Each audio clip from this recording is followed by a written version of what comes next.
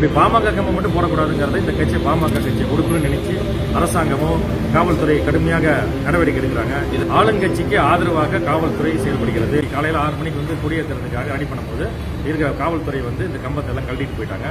அதனால ஆளுங்கட்சிக்கு ஆதரவாக காவல்துறை செயல்படுகிறது. சட்டமன்ற பாராளுமன்ற உறுப்பினருக்கு ஆதரவாக இந்த அரசாங்கம் செயல்படுகிறது.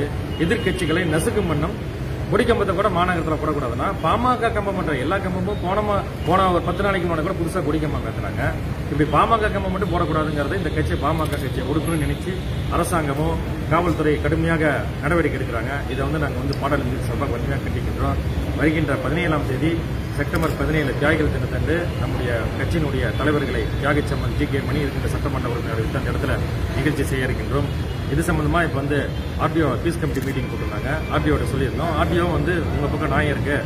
நான் கட்டாயமா பதினஞ்சாம் தேதி மீண்டும் வாங்க. நல்ல ஒரு முடிவு எடுத்து சொல்றதா சொல்லியிருக்காங்க.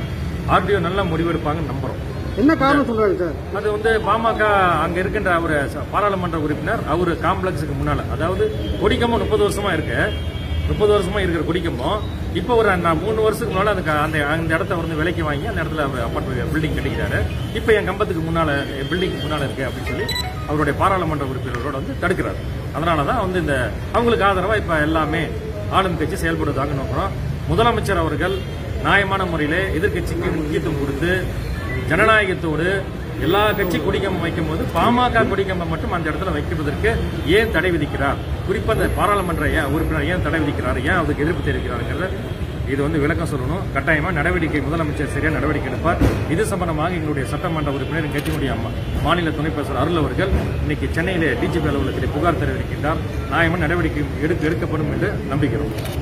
பாமக அவர் போன அது ஒருவேளை குற்ற உணர்வு இல்லை அவர் பாமக இருந்தார் அப்புறமேட்டு வே- இன்னும் என்ன நாலு நாலு அஞ்சா கட்சி தேமுதிக போனார் வீரமணி பெருவன் பல கட்சிக்கு போனாரு. இப்போ நம்ம அதெல்லாம் நம்ம சொல்லலை. இப்போ இருக்கிற கட்சிக்காக எங்களே வந்து பாராளுமன்ற உறுப்பினர் அலுவலகம் இருக்குதுன்னு சொல்கிறாரு ஆனால் பாராளுமன்ற உறுப்பினருங்கிறது இப்போ எல்லா கட்சி எம்எல்ஏக்கும் ஒரு ஆஃபீஸ் கொடுத்துருக்காங்க. அது தனிப்பட்ட அவருடைய ஆஃபீஸ் அவர் தனிப்பட்ட ஆஃபீஸ் இப்போ உள்ள சொல்லும்போது அவங்க தனிப்பட்ட ஆஃபீஸை வந்து இது எங்களோட office public office public office கிடையாது. பாராளுமன்ற உறுப்பினருக்கு சேலத்து அலுவலகம் இல்லை. சட்டமன்ற உறுப்பினர் தான் அலுவலகம். இருக்குது ஆனா அது வந்து அதை வந்து இப்ப பேஸ் பண்ணி அந்த அதிகாரத்தை பயன்படுத்தி எங்க ஆபீஸ் மேல வைக்கிறாங்க குடிக்க வைக்கிறாங்க தவறா சொல்றேன் தமிழகத்திலே மிகப்பெரிய சமுதாயம் இந்த வன்னிய சமுதாயம். இந்த வன்னிய சமுதாயத்தை பற்றி நாங்கள் பேசவில்லை என்றால் வேறு யார் பேசுவார்?